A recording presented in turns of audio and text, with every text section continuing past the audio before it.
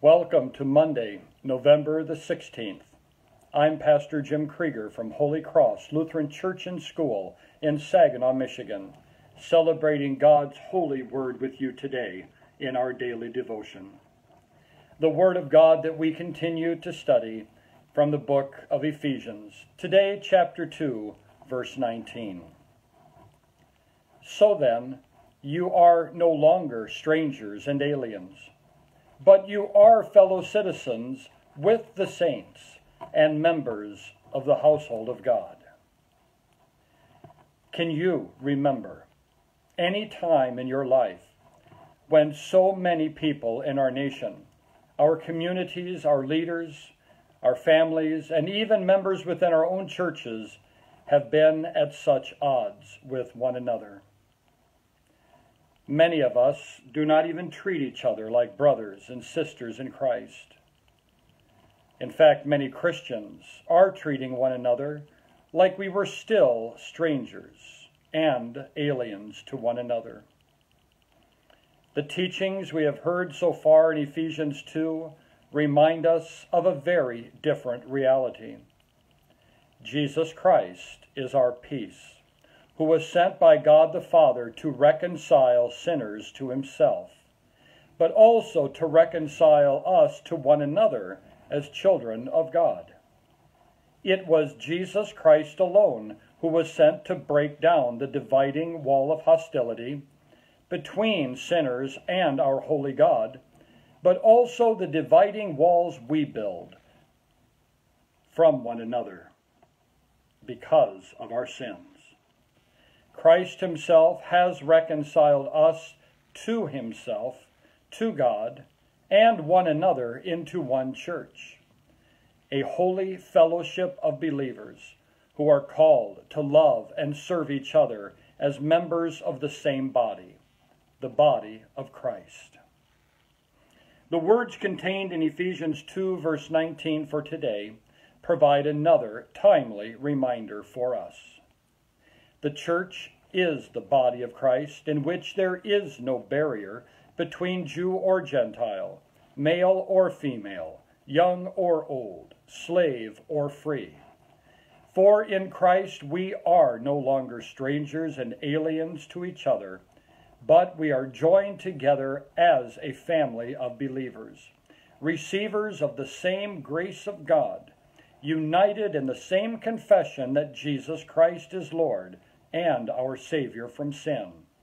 And as St. Peter describes in 1 Peter 2, verse 5, we are like living stones, being built up as a spiritual house to be a holy priesthood.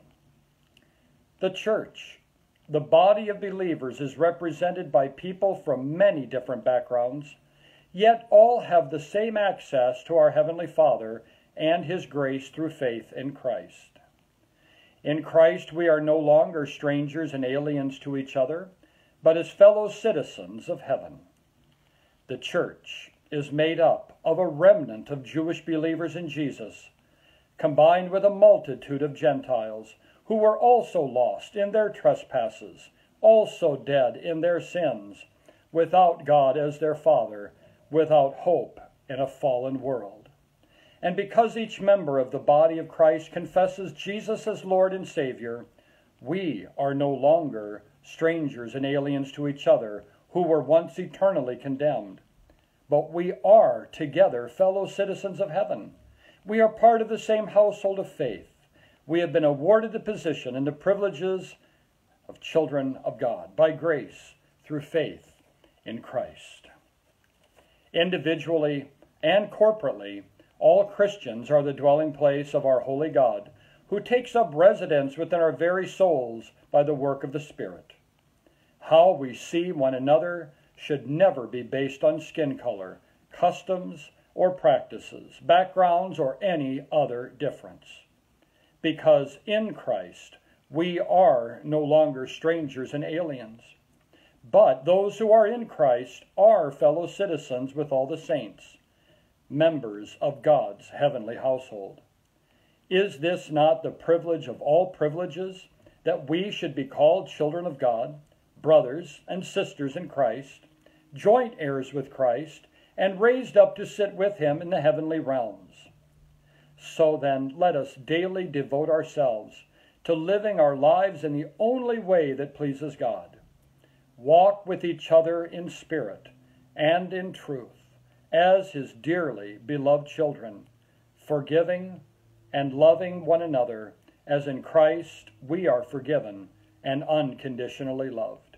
Let us pray. Loving Father, because you are gracious and merciful, you have offered your Son as the sin sacrifice so that all sinners can have access to you and the faith in Jesus that leads to forgiveness and salvation. You have welcomed me, my brothers and sisters in Christ, and all believers into your spiritual family, and you showered us with comfort through your word and sacraments. Unite us not only as believers, but as your family, as we show your love for one another, especially in these challenging times. All of this I pray in the holy name of Jesus, who taught all your people to join in prayer together. Our Father, who art in heaven, hallowed be thy name. Thy kingdom come. Thy will be done on earth as it is in heaven.